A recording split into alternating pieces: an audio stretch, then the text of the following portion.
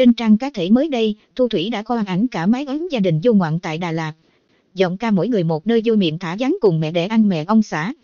Thu Thủy chia sẻ, đưa mẹ yêu đi mọi nơi gặp gỡ mẹ yêu thứ hai.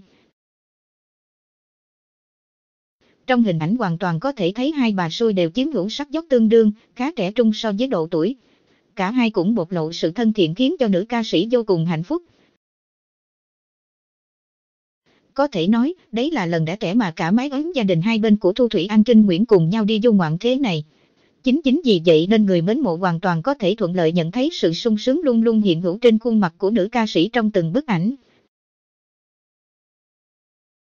Thời gian qua, Kinh Nguyễn ông xã trẻ của Thu Thủy dướng phải ủng hàng ngược đãi đàn ông riêng của khi có hành vi được cho là đang đắt tay nhỏ bé Henry trong một đoạn clip ly stream. Mặc dù cả hai đều đã lên tiếng lý giải nhưng điều đó chỉ khiến cho công chúng góp thêm phần khó tính khi cho rằng Thu Thủy vì quá say mê ông xã trẻ mà để mặt đàn ông bị đối xử bất công. Sau khoảng thời hạn im lặng, cặp đôi đã dùng hành vi để chứng tỏ cho công chúng thấy rằng Kinh Nguyễn vẫn luôn luôn dành tình nâng niu cho nhỏ bé Henry Anh cậu nhỏ bé cũng rất quý mến bố dưỡng của mình.